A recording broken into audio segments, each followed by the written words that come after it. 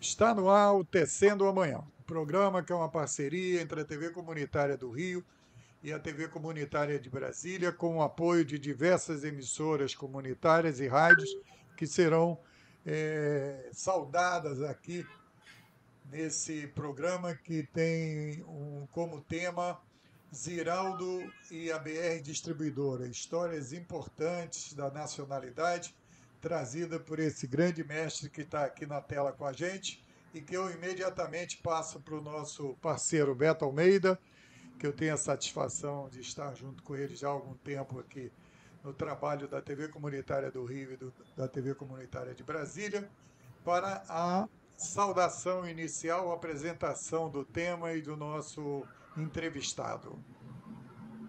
Venha, Beto, com a palavra.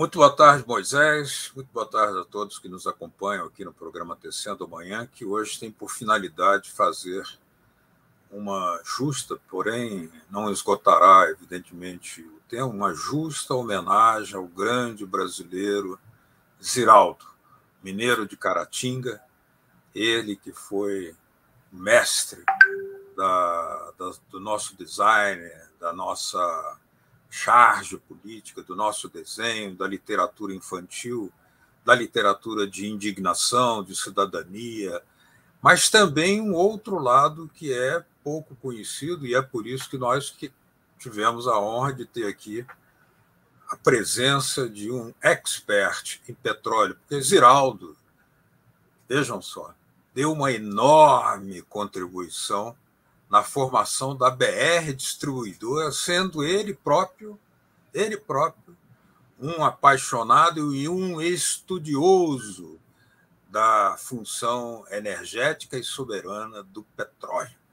Para isso, nós temos a presença aqui conosco do economista Silvio Massa, que foi exatamente superintendente da BR Distribuidora, uma estatal criada pelo presidente Ernesto Geisel, lamentavelmente já foi privatizada no governo Bolsonaro, faz uma falta imensa, mas hoje nós queremos homenagear Ziraldo e é por isso que o testemunho de alguém que esteve junto, lá dentro, vivendo não apenas com o Ziraldo, mas daqueles talentos que o acompanhavam para criar a marca, para criar o charme, para criar o apelo nacional o apelo soberano da BR Distribuidora em favor do Brasil, dos caminhoneiros, do povo brasileiro, da economia nacional.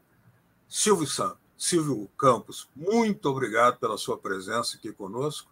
Silvio Massa Campos, e seja muito bem-vindo ao Tecendo Amanhã. O que, que você pode nos contar dessa faceta maravilhosa do grande Ziraldo?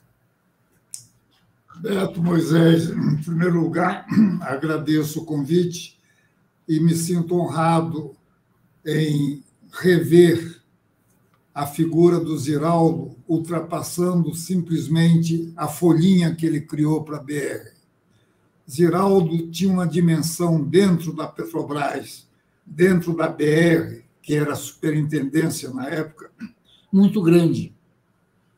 Ele nos assessorava nos aconselhava e abria caminhos.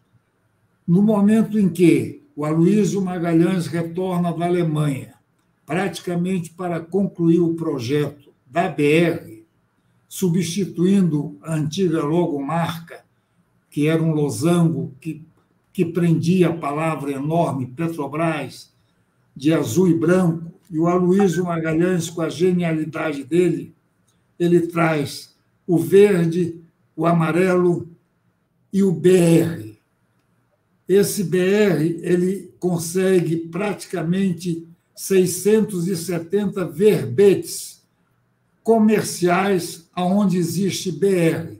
Se você disser obrigado e passar um travessão em cima do BR de obrigado, você tem uma associação imediata com a BR Futura, empresa de petróleo de distribuição. Se você disser lubrificado, tem o BR de lubrificado. Se você disser autoestrada BR 140, basta você botar um travessão para você associar. E mais ainda, a palavra Petrobras contém BR. Então, bastaria você, na palavra Petrobras, colocar outra versão.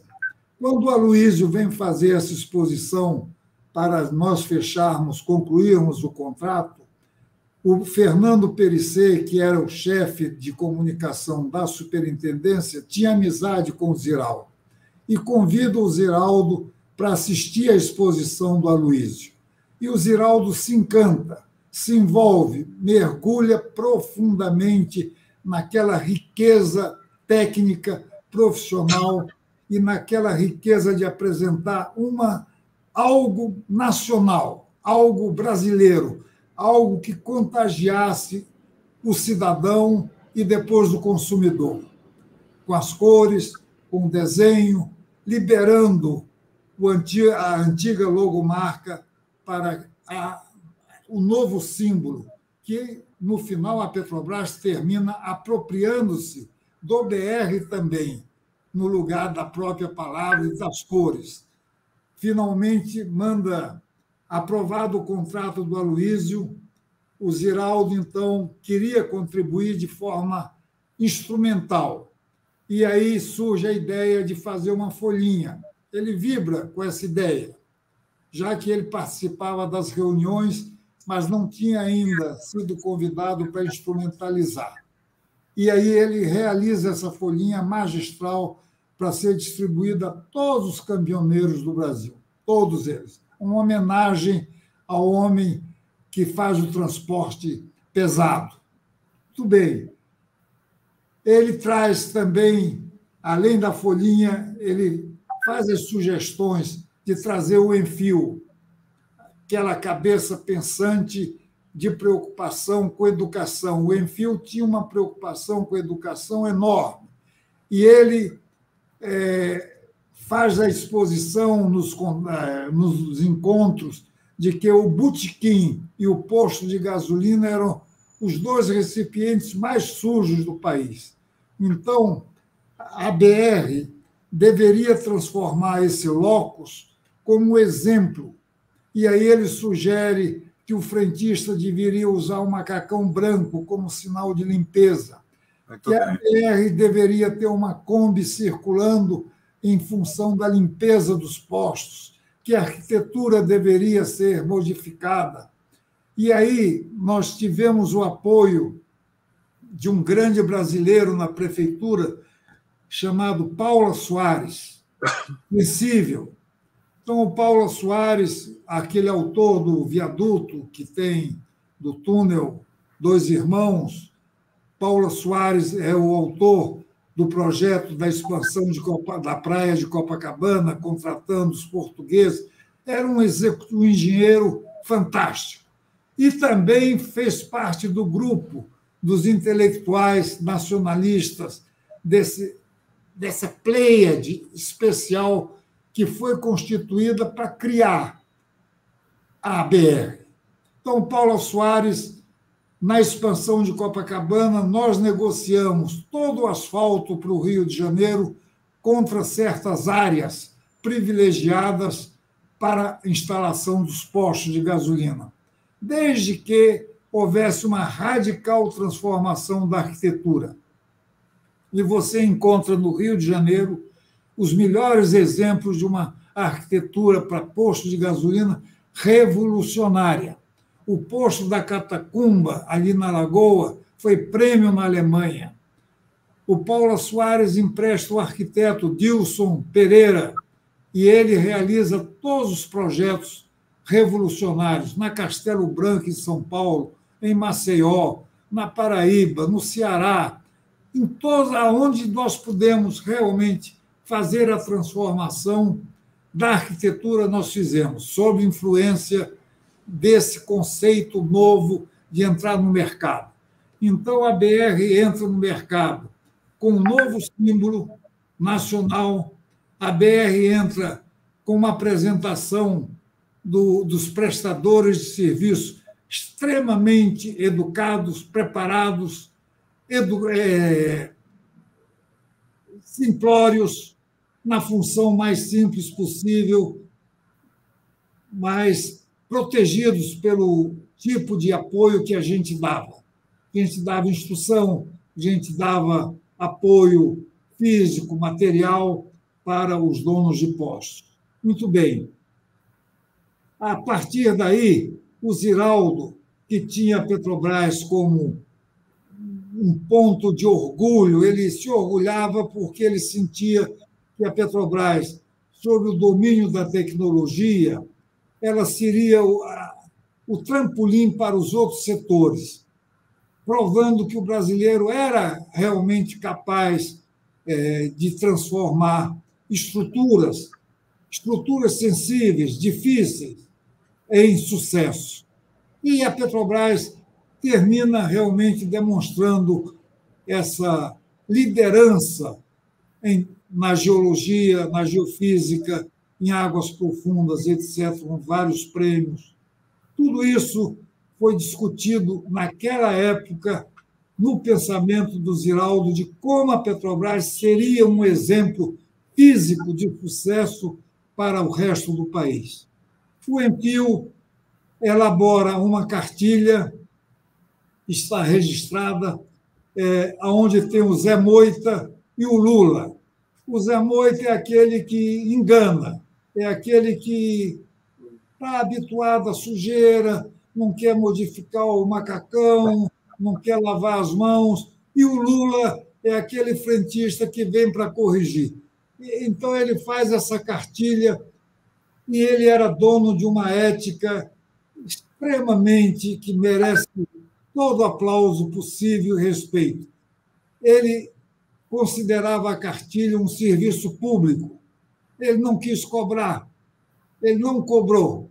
Nós pagamos ao Ziraldo, nós pagamos ao Aloysio, nós contratamos a Djanira por uma deficiência momentânea dela, financeira, com o auxílio, inclusive, do Carlos Alberto Vieira, que era presidente do Banerj, é preciso que se diga isso, que foi um bom sócio para a gente apoiar todos esses intelectuais, torcedores da Petrobras, gente autêntica, verdadeira.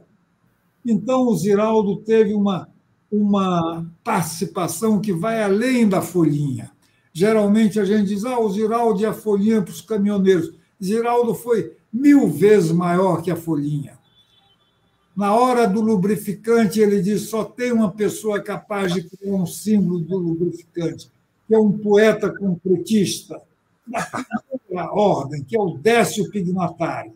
Olha só. Nós vamos ver o Décio, e o Décio, na hora, quando vê a palavra lubrificante com BR e o travessão do Aloísio, ele diz Lubrax.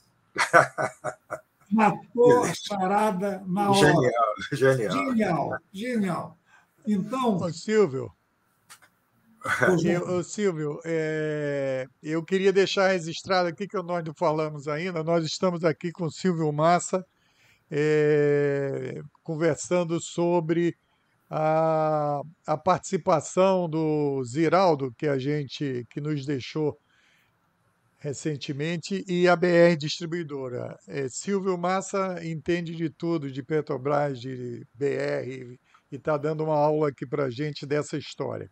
Mas eu queria aqui aproveitar, antes da próxima intervenção do Silvio, é, registrar que o Tecendo Amanhã é uma parceria também que envolve, queríamos agradecer às TVs comunitárias do Rio, de Brasília, a TV comunitária de Belo Horizonte, a TV comunitária do Recife, a TV comunitária de Curitiba, a TV comunitária de Florianópolis, a TV comunitária de Ourinhos, no interior de São Paulo, a TVR Sul de Santa Catarina e as rádios Manaua de Porto Alegre, Cultura M de Curitiba. Silvio, é, encantado aí com as suas colocações. Eu queria que você também levantasse é, a bola aí sobre o seguinte: é, por que você acha que esses segmentos aí da intelectualidade, do traço, do humor, etc., é, se envolveram com é, uma empresa estatal, se envolveram com essa questão da nacionalidade? A gente, eu quando você estava falando, eu fiquei pensando lá nos idos de 1930, é, o envolvimento de grandes figuras intelectuais do Brasil também com a construção né, do país, com a Revolução de 30 e o governo de Getúlio. Eu lembro de Heitor Villa-Lobos e diversos outros que se envolveram também nessa construção é, do país. Você vê nesses segmentos que você está contando para a gente, do Ziraldo, do Enfio e de outros, essa chama que é a questão nacional presente? Não há dúvida, não há dúvida que a elite dos anos 30 e a elite dos anos Jango, que eu prefiro colocar dessa forma, porque o, Jango reuniu também uma pleiade de intelectuais ao lado dele para reformular praticamente toda a estrutura nacional. E esse grupo que se reuniu na superintendência e depois na BR vislumbrava esse instrumento como um meio de transferir para o resto do país o exemplo da Petrobras. Se a Petrobras fosse vitoriosa na auto, no, mantendo o abastecimento garantido com matéria-prima própria, era uma grande vitória. Nós não tínhamos energia até então, éramos importadores de petróleo.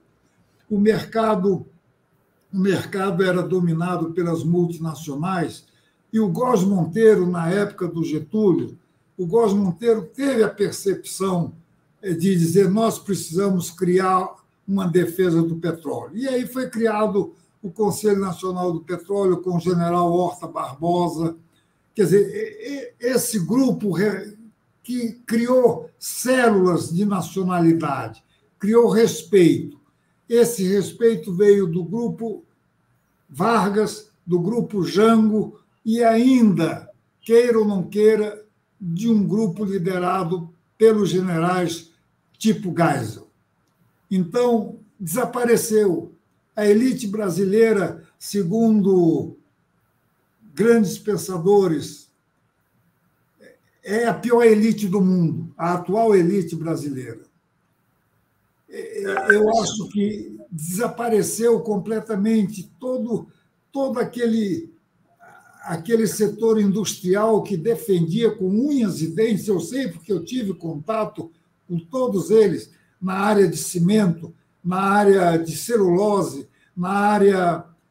Tudo para colocar a BR dentro dessas unidades industriais e, o, e eu sentia que havia realmente da parte industrial, empresarial, uma vontade de país independente. Uhum. Desapareceu. E isso, hoje, eu constato com dois números. 45% do capital da Petrobras hoje está na mão dos fundos americanos quer dizer, ela gera dividendos para manter os aposentados americanos. Isso foi dito pela Hillary Clinton. Não peçam aumento, porque nós tiramos o dinheiro deles para dar para vocês. É, é declaração da Hillary Clinton, apaziguando o aposentado que estava pressionando por melhorias. Então, hoje, com muita tristeza, eu vejo você, a Petrobras, participando de uma farsa a BR foi privatizada e o símbolo mantido na empresa privada é o símbolo da BR. O atual presidente da Petrobras, o atual presidente da Petrobras, toma um susto ao se entrevistar com empresários chilenos e paraguaios que disseram que o símbolo BR no Chile e no Paraguai aumentam as vendas em 25%. Para ele, tem declaração dele, dizendo que causou estupefação. E eu pensava, eu escrevi três ou dois artigos condenando essa farsa da, da Petrobras participar juridicamente de um contrato aonde eu não sei se a empresa que adquiriu a BR paga algum royalty pelo uso da marca BR. Eu sei que se alguém quisesse um posto com a logomarca da Petrobras, teria só que garantir a remuneração da Petrobras com os seus produtos, a margem dos seus produtos. Eu não sei se a Vibra hoje paga alguma coisa para usar o símbolo da Petrobras.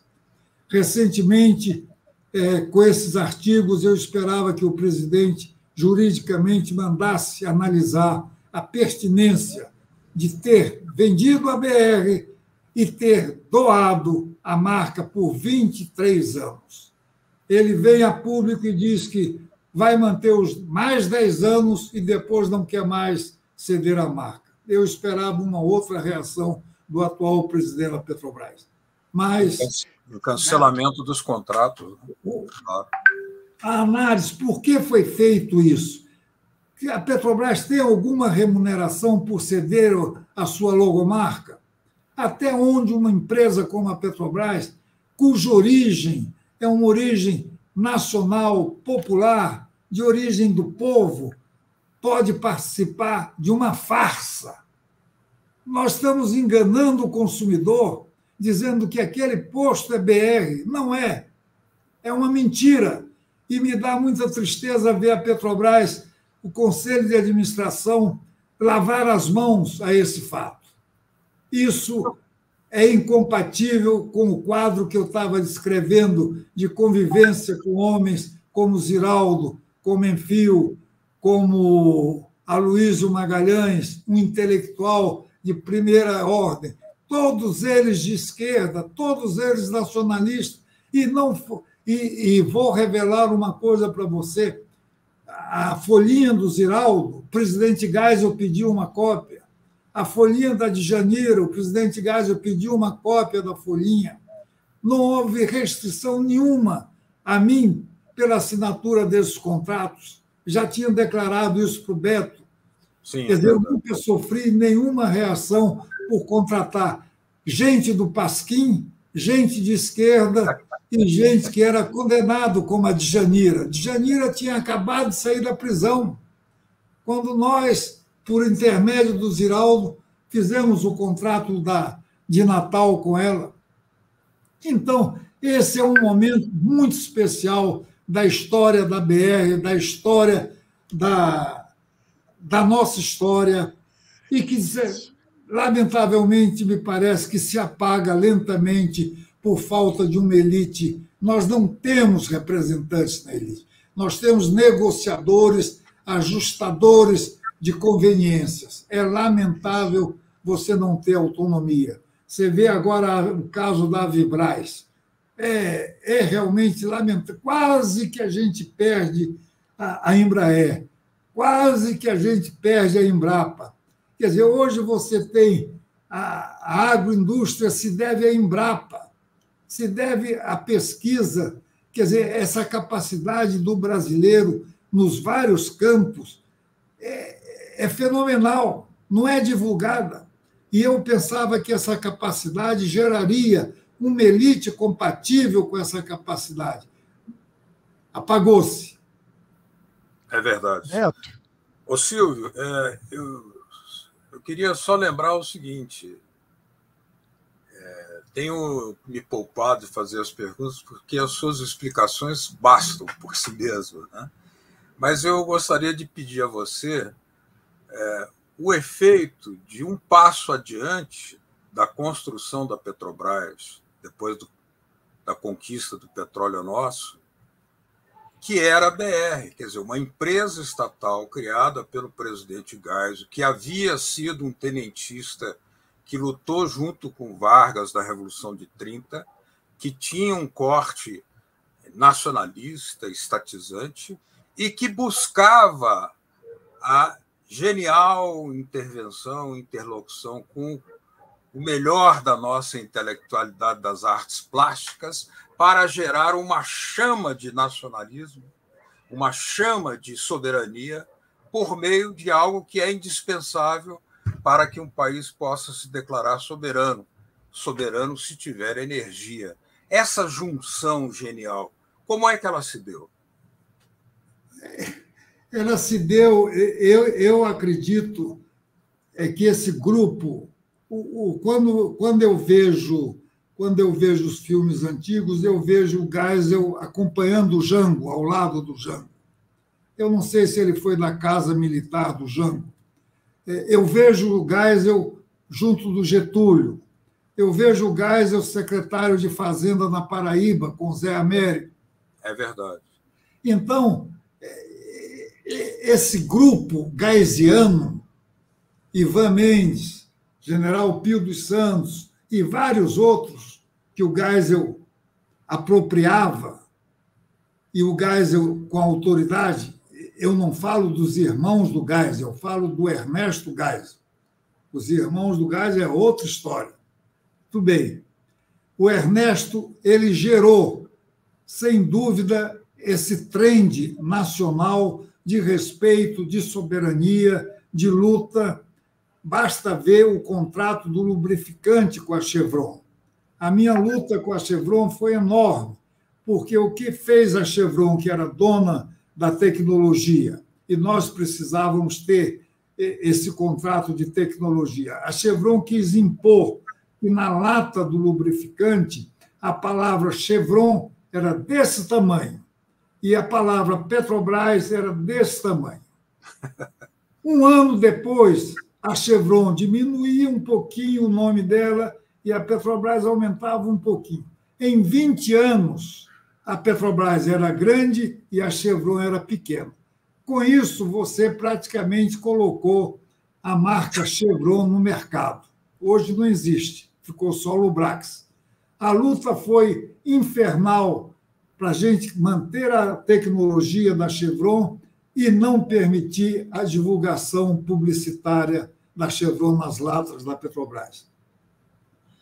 É, obtivemos aqueles receios divulgados pela ESO de que a gente ia comprometer é, os trens com lubrificante, ia comprometer os navios, toda uma divulgação, na época, fake news da época. E tudo isso a gente foi combatendo e o Geisel foi firme. Ele disse: não, o contrato vai ser esse, pode assinar desse jeito. Então, eu tenho vários exemplos de firmeza nacional de combate. Ele batia de frente. Hoje em dia você não tem gente para bater de frente. Você tem gente escolhendo para ficar ao lado.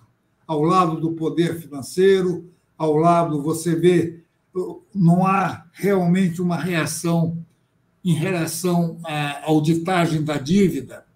Há um silêncio completo no pagamento dos juros, que praticamente absorve metade do orçamento federal e há um silêncio completo de toda a sociedade.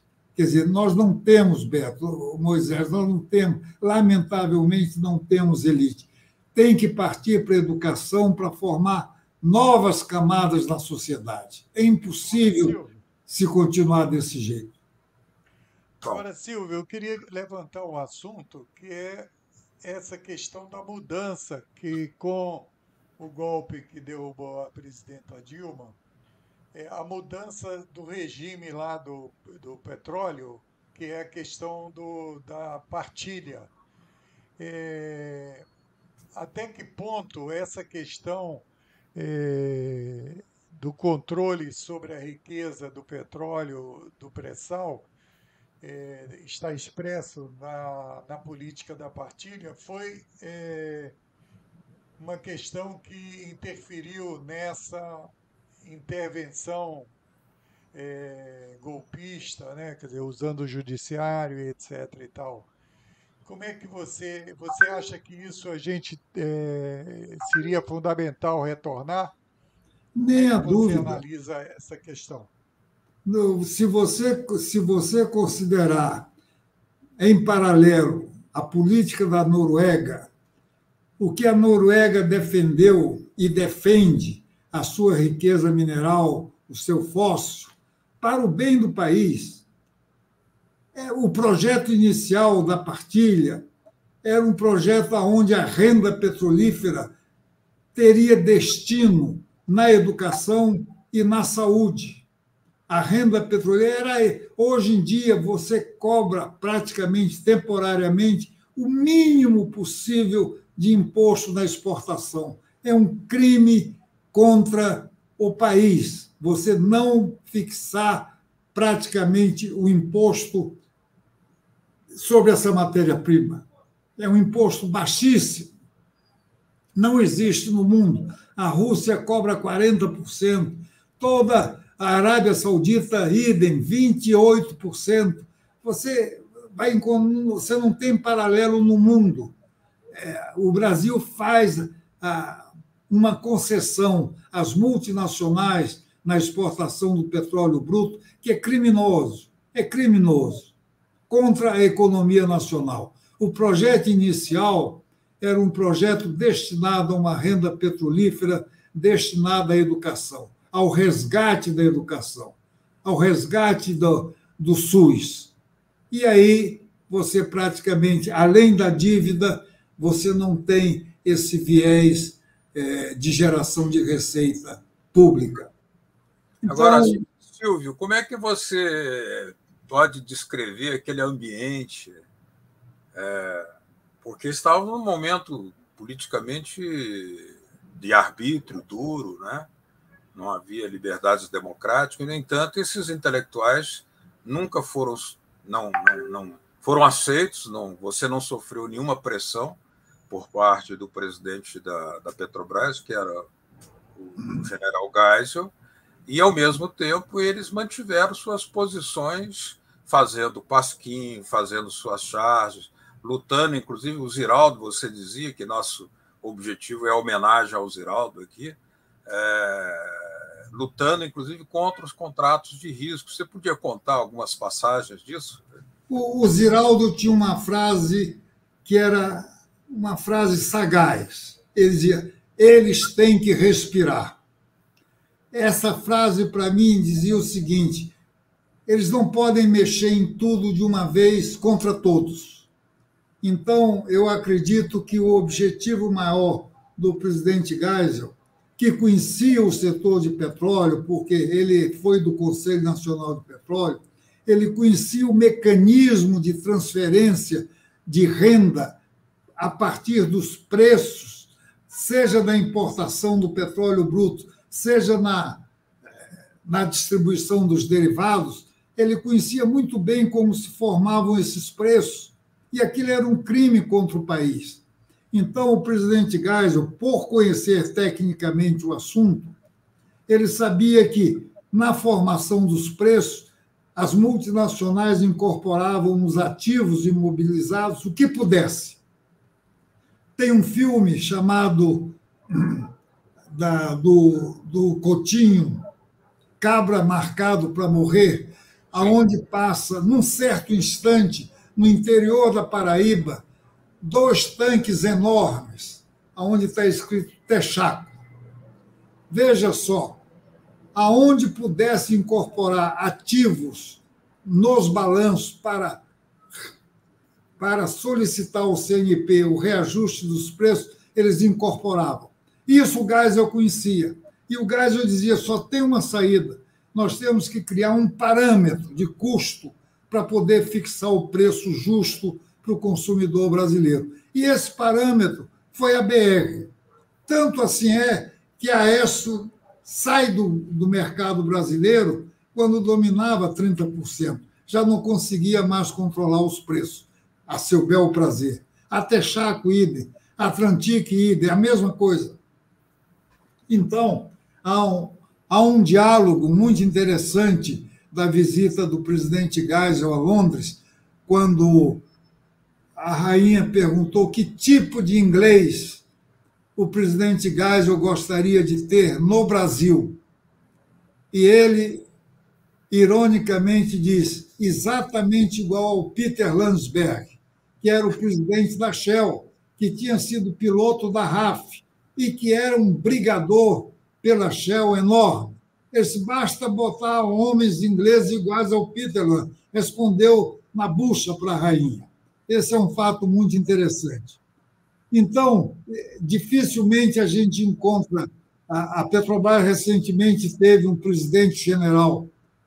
E veja que esse, esse cidadão dizia que a Petrobras devia se preocupar com o mercado. Mas ele não diz quem é o mercado. Ele não diz quem compõe o mercado, para onde vão os destinos gerados no mercado. Essa, você ouvir isso de uma pessoa das Forças Armadas que veja recentemente, agora, um mês atrás, o avião trazendo o chanceler russo Vaklov em Brasília precisou o avião dele precisou de abastecimento. A empresa Vibra recusou-se a fornecer o, o querosene de jato, porque sofreria restrições dos americanos. Nossa. Você veja a que ponto. Na, na Guerra das Malvinas, você teve a Shell e a ESSO em Buenos Aires e em Mendonça, que se recusaram a abastecer os aviões argentinos. Então, você não ter uma BR num caso de um conflito é um problema muito sério. Uhum. Isso preocupou naquela época o general Góes Monteiro, naquela época, aonde realmente nós não tínhamos possibilidade. Preocupou quem mais? Monteiro Lobato. Veja que a genialidade daqueles homens eram tão grandes porque você não tinha geologia, você não tinha geofísica, mas eles apostavam praticamente na dimensão continental do país. Tem que existir, tem que existir. E existiu. E hoje você praticamente exporta para de graça um petróleo de altíssima qualidade, altíssima qualidade, de baixíssimo custo de extração, e você está exportando mais da metade da retirada. Não sei amanhã se a gente vai ter disponibilidade a esse custo, a esse preço. Inclusive exportando sem cobrar o imposto devido que deveria reverter para a renda Edu... nacional brasileira. Né? Claro. Educação e o SUS.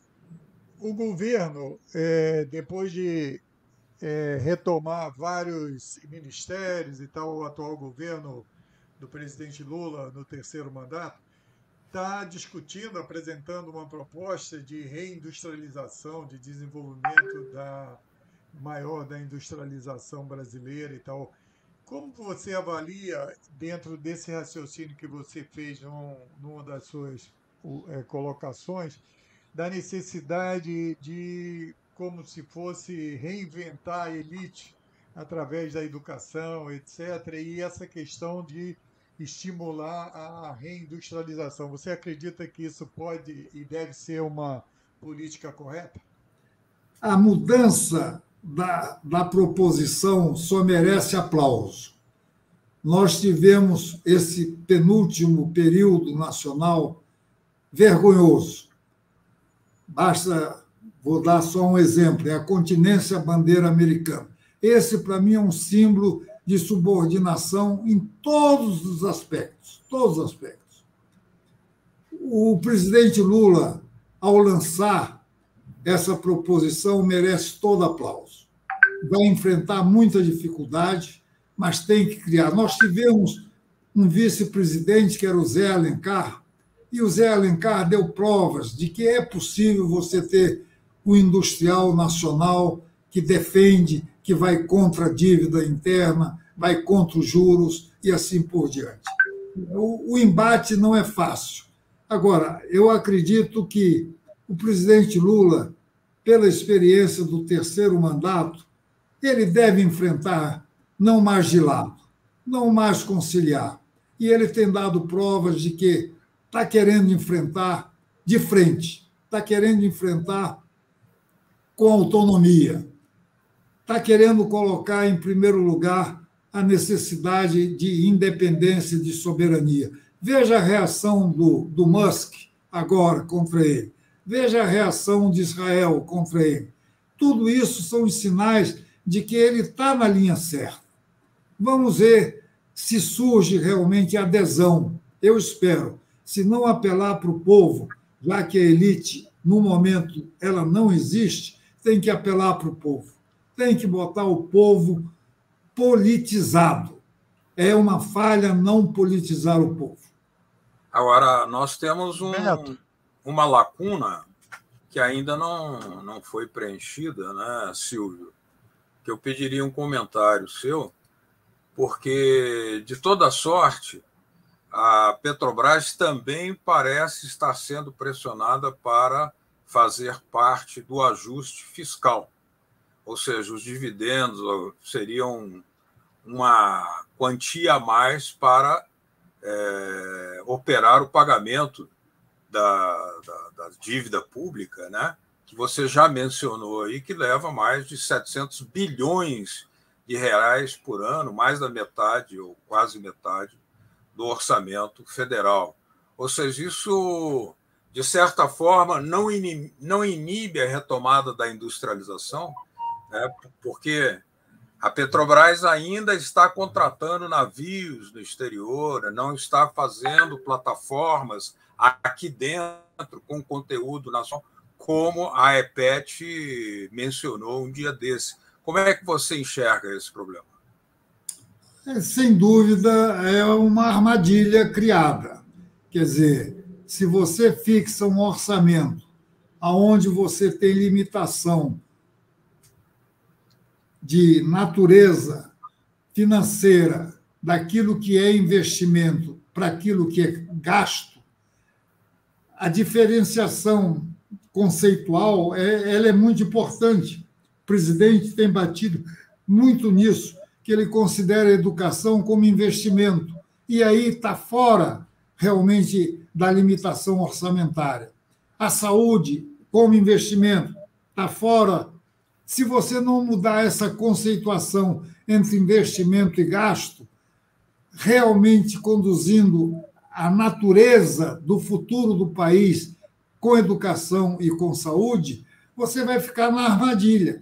Tem que dar o dividendo.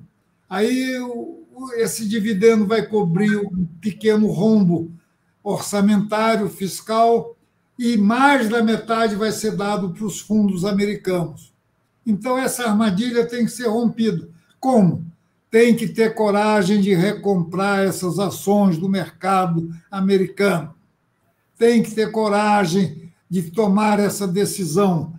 Quando Lessa, que era presidente do BNDES, comprou as ações do Vale do Rio Doce no mercado americano, ele foi demitido. É preciso, depois dessa experiência do Lessa, recomprar as ações da Petrobras e não demitir o comprador das ações, que pode ser o BNDES. Então, para romper a armadilha fiscal, só com autonomia, só com coragem. Então, eu não vejo outra saída que não seja enfrentar aquilo que está sendo construído. É, a presença do, do Musk nessas declarações, para mim, prova muito bem o acerto da direção da política do presidente atual. Senão, não estaria sendo tão combatido, seja por Israel, seja pelo Musk, pela extrema-direita. E entre essas políticas, uma uma gestão para retomar a existência da própria BR distribuidora, ah. que foi uma intervenção estatal visando nacionalizar e, e, criar parâmetros em favor do consumidor brasileiro, quando a Petrobras ainda nem era autossuficiente na produção do petróleo. Imagine hoje, né? Imagine hoje.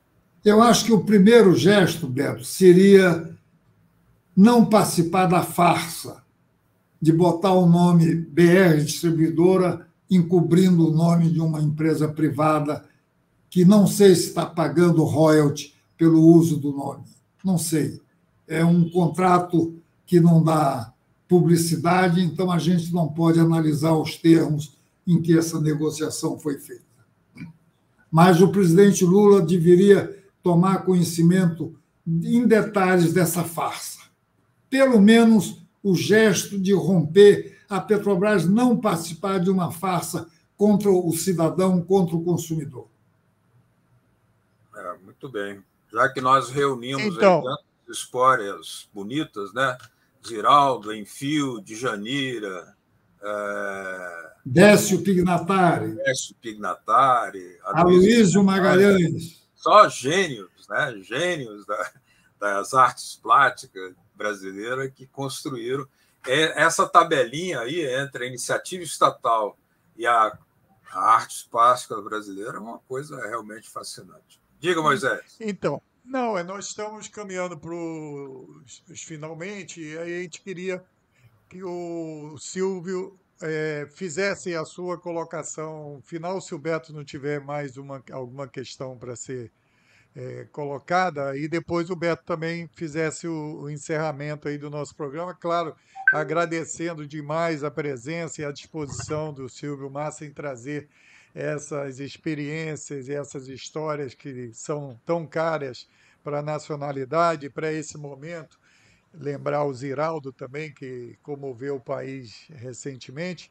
Agradecendo também a participação das TVs parceiras aqui desse programa Tecendo Amanhã, construído, né, Beto, aí no início da pandemia, que gerou tanta integração das TVs, TV Comunitária do Rio, de Brasília, de Belo Horizonte, de Recife, Curitiba, Florianópolis, Ourinhos, no interior de São Paulo, TVR Sul de Santa Catarina e as rádios Manaus de Porto Alegre e Cultura M de Curitiba. Agradecemos essa parceria. E aí, Beto, faça a última colocação para o Silvio encerrar o nosso programa. É, eu queria só lembrar que o Silvio, além de, dessa passagem dispensável na construção dessa ferramenta de desenvolvimento nacional, que é a BR Distribuidora, convocado pelo presidente Gás, ele é um, além de economista, ele é também um escritor. E um dos livros que eu tive o prazer de ler, do Silvio, chama-se Marx e a Matemática. Você poderia dizer o que, que lhe inspirou, embora o título pareça ser autoexplicativo, mas acho que deixará muita gente curiosa com essa versão que você tem de juntar a economia com o amor que o Marx tinha pela, pelas matemáticas. É, é interessante esse ponto, porque no enterro do Marx faz parte do discurso do Engels, dizendo o seguinte: chamo a atenção dos senhores que ele, Marx, dedicou-se à matemática profundamente. Você precisa saber que ele escreveu mil páginas, mil páginas sobre matemática, principalmente sobre cálculo infinitesimal. Ele desmonta, em parte, toda a conceituação newtoniana no cálculo. Leibniz, ele desmonta.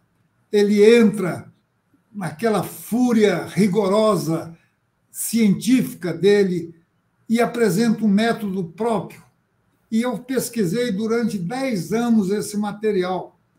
Seja o material dos estudiosos soviéticos, seja o material dos ingleses, eu tenho tudo isso montado e eu era fascinado por esse lado escondido, pouco divulgado. E ele foi um estudioso que apresentou realmente uma nova conceituação daquela sutileza que é o cálculo infinitesimal. Em busca de quê? Ele queria realmente controlar as crises do capitalismo via matemática. Tanto que ele, com os amigos matemáticos, ele formula essas questões: formação de preço, formação de crise, como por modelos matemáticos, como prever o surgimento da crise ou, ou a hecatombe do capitalismo. Então, é, o meu fascínio foi estudar esse assunto que é pouquíssimo tocado. Não sei qual a razão que esconde essa matéria. Então, esse livrinho teve um, uma grande repercussão na Espanha, mas não teve repercussão no Brasil. É, incrível. Vamos, vamos é. tratar de circular cada vez é. mais a informação, que vai despertar um grande interesse. Agora, claro, outra, é, pergunto também se o presidente Geisel é, sabendo de tudo isso, da cabeça que você é, assim mesmo ele convidou para cumprir a função de comandar a BR Distribuidora. Ele nunca lhe fez perguntas desconfortáveis? Não? Nunca. Minha ficha no DOI-CODE é horrível. Comunista, agitador, e, evidentemente, ele conhecia essa ficha. Eu posso dar cópia para você, porque eu obtive essa cópia. Eu fui perseguido quando eu fui embora para a França, eu fui perseguido pelo coronel Job Santana em Paris, aonde ele conclui no relatório dele entregue ao DOI-CODE da seguinte forma: Paris é uma cidade muito grande, é difícil saber onde o Silvio Massa se esconde. Está lá escrito isso, eu tenho. Então. Esse, esse, foi, esse foi um encerramento maravilhoso. Não, o encerramento, encerramento eu vou dar agora, que você me perguntou qual a minha proposição. A minha proposição é que os novos, é, os novos ativos da Petrobras, como base, navio, terminal, seja dado o nome de Ziraldo, seja dado o nome de Enfio, seja dado o nome de Aloysio Magalhães, esses homens que construíram de peito aberto, com convicção, quer dizer, com oferta de brasilidade. Então, um navio ser chamado de Ziraldo é, é uma grande é uma grande recompensa pelo, pela convicção que ele tinha dos destinos da empresa. Essa é a minha sugestão. Muito bem. Para uma nova elite, para uma nova elite. Muito bem. Uma nova elite. Olha, eu quero agradecer muito, mas demais mesmo, a presença do Silvio Massa aqui com a gente, trazendo essas histórias de extrema importância nesse momento. Obrigado. Agradecer a parceria do Beto Almeida, a presença do Beto. Beto, encerra aí o programa de hoje.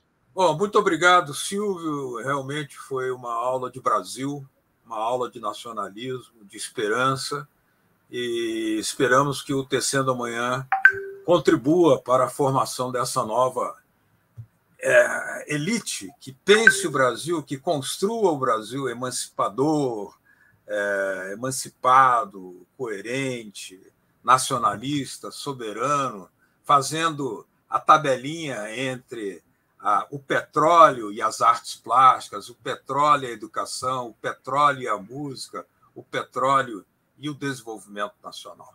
É, foi um grande prazer tê-lo aqui. Um grande abraço, Moisés, um grande abraço, Silvio, e todos que nos acompanharam. Até o próximo Tecendo Amanhã. Aquele abraço. Tchau, tchau. Obrigado. Obrigado. Tchau, tchau.